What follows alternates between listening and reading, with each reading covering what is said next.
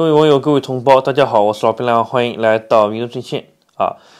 那么有网友啊，纷纷给老兵发来这个消息啊，刚因为刚才老兵呢啊，突然之间睡着了啊，睡会儿觉，呃，然后呢，这个消息啊就来了啊，呃，网友是这样的，打了好几个问号，说这个国家主席习近平啊，怎么同乌克兰总统泽连斯基通了电话啊？表示很震惊啊，也很看不懂。那么让老兵呢来解读一下啊。首先一个，呃，习近平和泽连斯基通电话，我觉得也没什么好大惊小怪的啊。呃，这个是两个主权独立的国家之间的啊正常的外交接触啊，很正常啊。那么我们先来看一下这个通稿，然后我们再来做个分析，好吧？习近平同泽连斯基通话。四月二十六日下午，国家主席习近平应邀同乌克兰总统泽连斯基通电话，双方就中乌关系和乌克兰危机交换了意见。习近平指出，中乌关系走过三十一年发展历程，达到战略伙伴关系水平，为两国各自发展振兴提供了助力。我赞赏泽连斯基总统多次表示重视发展中乌关系和对话合作。感谢乌方去年为中国公民撤离提供大力协助，相互尊重主权和领土完整是中乌关系的政治基础。双方要着眼于要跟着眼于未来，坚持从长远角度看待和谋划两国关系，延续双方相互尊重、真诚啊相待的传统，推动中乌战略伙伴关系向前发展。中方发展中乌关系的意愿是一贯的、明确的，无论国际风云如何变幻。中方愿同乌方一道，把两国互利合作向前推进。习近平指出，乌克兰危机复杂演变，对国际形势产生重大影响。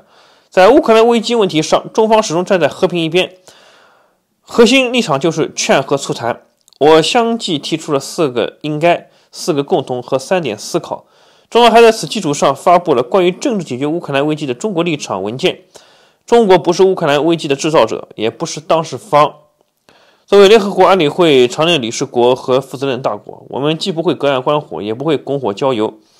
要不，啊，这个要不趁机谋利的事，中方所作所为光明正大，对话谈判是唯一可行的出路。核战争没有赢家，对待核问题，有关各方都应该保持冷静克制，真正从自身和全人类的前途命运着眼，共同管控好分歧，啊，管控好危机。现在各方理性的思考和声音在增加，应该抓住契机，为危机的政治解决积累有利条件。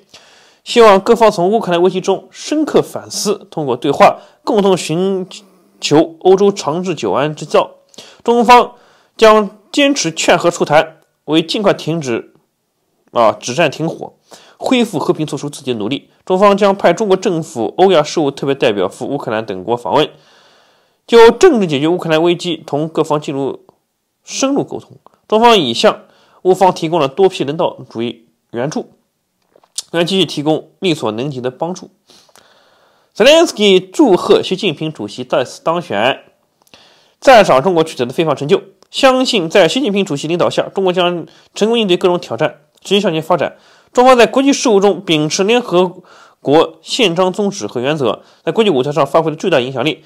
乌方恪守一个中国政策，希望同中方开展全面合作，开启乌中关系的新篇章，共同致力于维护世界和平与稳定。格连斯基介绍了对当前乌克兰危机的看法，感谢中方为乌克兰提供人道主义援助，欢迎中方为恢复和平通过外交手段解决危机发挥重要作用。啊，那么。这个事情呢，啊，这个就是这个，我是从观察者网上面节选出来的啊。那么这个字数呢也是比较少啊，但是非常重要啊，非常重磅。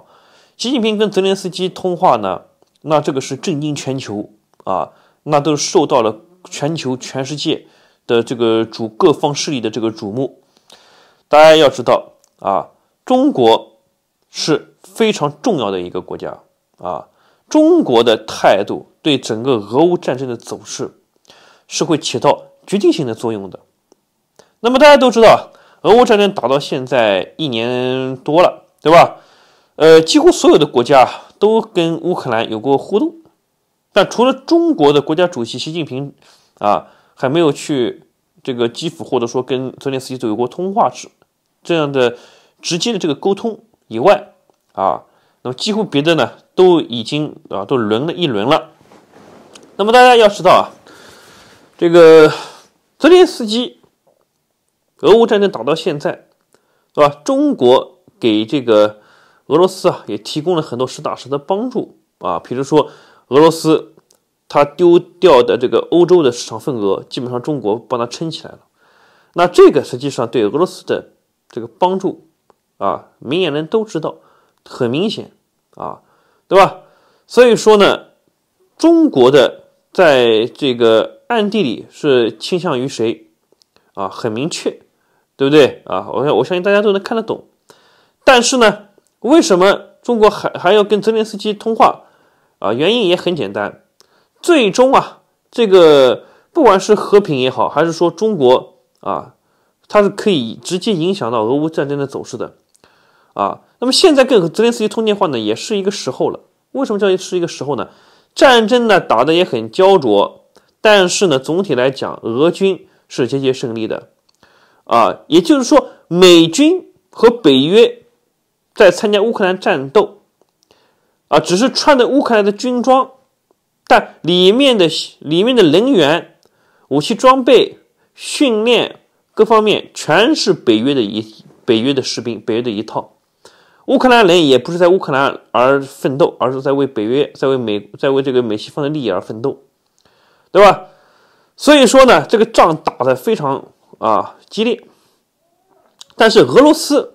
也是在前线啊，也不是也不是这个吃素的啊，也是打得相当的啊牛逼啊！从一开始的摧枯拉朽，到后来的这个啊暴露出了各种问题，再到后来的这个调整啊，基本上呢，他经历过这么一个状态，心理素质也都已经打出来了啊！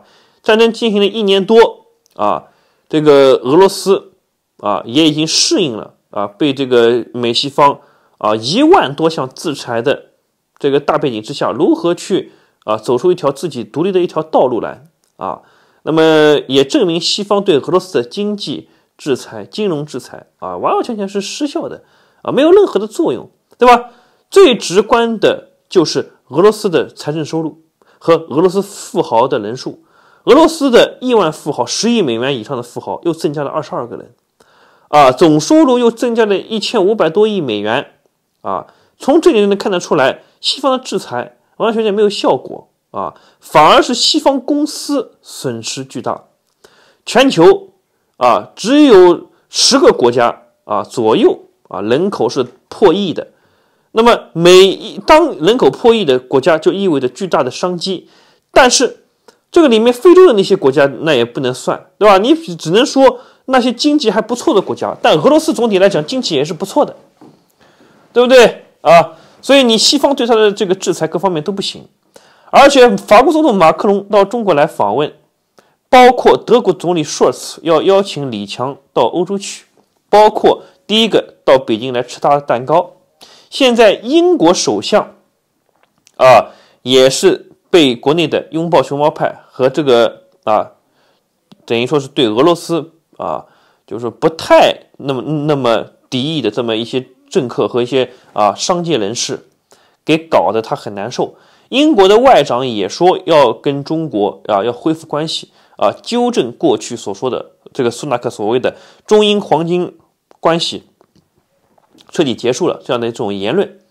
那么纷纷转变的原因就是真的俄乌战争他们是扛不住了，扛不下去了，而且现在西方所拥有的想想要的那些东西很多都控制在俄罗斯人的手里面。啊，你比如说，G7 原来开会牛逼哄哄的说要对俄罗斯全面进出口终止掉，那么俄那么但是他的机器农业部长又一致的啊要求说黑海协议啊能够过关，对不对啊？继续黑海协议，但俄罗斯说哦，原来你们他妈的这这么垃圾啊啊，那好，黑海协议我要跟你终止掉。所以在这一系列大背景之下，再说美国，美国现在。对吧？他的国防部副部长刚刚已经讲过了，乌克兰为辅，中国这边是为主，那也就等于说乌克兰那个战场他也不想管了，也无力管了啊，对吧？两头来都要一个侧重点，对不对？他也吃不消了。他讲这些话，泽连斯基难道哦？今天他他们国防部副部长讲这个话，难道泽连斯基他不会去听从这些话？而且还有一件事情，美国国内啊政治斗争激烈。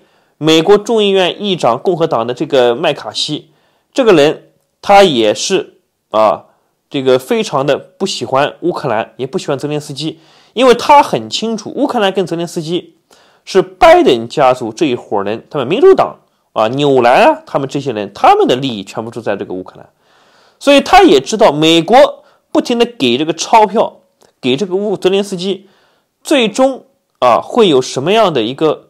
啊，这些钱知道哪去了？麦卡锡也不是傻子啊，所以他也说了，那你现在美国债务要达到了这个上限，美国美债就要违约了，怎么办？那削减开支，那怎么削减开支？你乌克兰就是个无底洞，那就削减它的开支，对吧？而且西方也，美国也批评说，泽连斯基啊，在这个办公室崭新的黑色奔驰啊，等等等等，也就是说，他的这个财路马上要断了。所以我以前一直都讲过，我说泽连斯基他的财路什么时候断，什么时候美国这些钞票支援不动了，这个无底洞填不上了，泽连斯基就会跟习近平来打电话了。啊，泽连斯基就会跟习近平来打电话了，就会邀请习近平跟他打电话了。习近平是他的啊最终方案。为什么讲叫最终方案？啊，中国提出乌克兰和平十二条建议。对吧？啊，和平十二条建议说白了，就是这个仗打到什么地步，就是什么地地，就是什么地步了，对吧？达到什么地步就什么地步。也就是说，俄罗斯现在也很明确，第聂伯河左岸这一边，啊，左岸这一边，啊，那那四个，对吧？啊，是被他给吞并的那四个地方，现在是控制在手里面，啊。而且现在是在进行这个啊特别军事行动的去军事化这个目标，不停的要把这些像蛾子一样飞过来的这些乌军啊这些有生力量给它消灭掉，他也扛不住。你以为呢？俄俄军这两天大家可能没有关注俄乌战争啊，这两天每天俄国都灭掉五六百，像一个团的乌军，你想想看能能行吗？美国的外泄文件都说了，美国的装备在这个地方，导弹、火炮打俄俄罗斯根本没用，因为俄罗斯电站系统太牛逼了，啊，它没用。所以说，你看到没有？整个欧洲这些几个大国，德国、英国、法国是最重要的三个大国，他们对中国都开软挡，就代表说他们真的扛不住了。他们对中国开软挡，那他们的政策就会受到中国的左右，包括法国总统马克龙。要求法国外事顾问跟王毅一起制定停战协议。那泽连斯基他很现实，我是泽连斯基，我也很现实。你美国美国爹什么时候给我钱，我就在这撑着，我就在这边帮你打。美国爹没钱了啊，欧洲这边也没钱了，也穷得跟叮当响了，都被掏干了。哎，那得了吧，我就赶紧跟习大哥打个电话啊，呃，我比较意思，我想这个你调停一下啊。你来斡旋一下啊！我差不多接受方案，我也我也想停战了。人家玩的是这个。那泽连斯基不是傻子啊，不是不人家人家不是傻子啊。听说好像也也捞了个四，也也捞个几亿还是十几亿美金吧？啊，都已经存好了那个账户里去了，对吧？美国他妈一再一再不管他，美国也说了，哎呀，乌克兰为辅，台湾这边为主啊，那那那怎么办？他怎么办啊？当然是跟赶赶紧抱习近平大腿了。所以我都已经已经说过，习近平跟泽连斯基通电话，什么时候通电话，一定是西方支持不动了。欧洲这边呢也不想支持，以法国为首的欧欧洲在政治上也也不想支持了，也没那么多东西支持了。英国呢财政也也也不行了啊。俄罗斯呢这个搞的也是很猛的，对吧？又是导弹又是干嘛的啊？核弹战术核弹，他们也都受不了。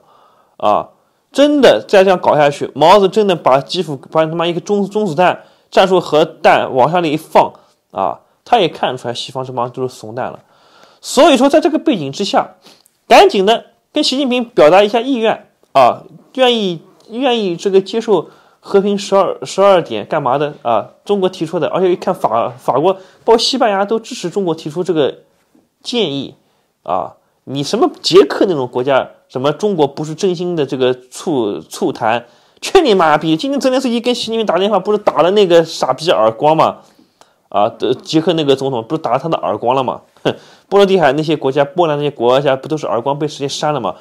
你们不是政治大国，最终乌克兰这个事情来决定，都是由政治大国，由安理会的这种政治大国来决定的，不是由你们，顶多还加一个德国，算算是半政治大国，因为它的经济影响力比较大，全球的影响力，这种品牌影响力比较强，它都可以可以算。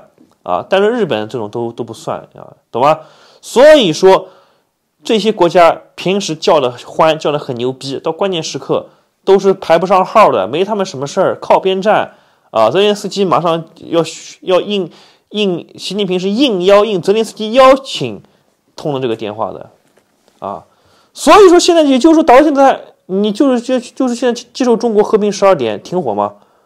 啊，接受中国和平十二点停火，仅此而而已了。再干下去，西方子弹都供不上来了，毛子这边越打越越猛，你你受得你受得了吗？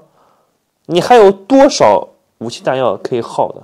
呵 呵啊，所以说你看看这些这些一系列的事情，它都是一个信号，包括西方的金融体系、银行体系，什么瑞银崩盘了啊，什么呃这个瑞信崩盘了，瑞银接手了啊，包括什么这个啊那些西方的那些银行都一个快完蛋，什么德意志银行。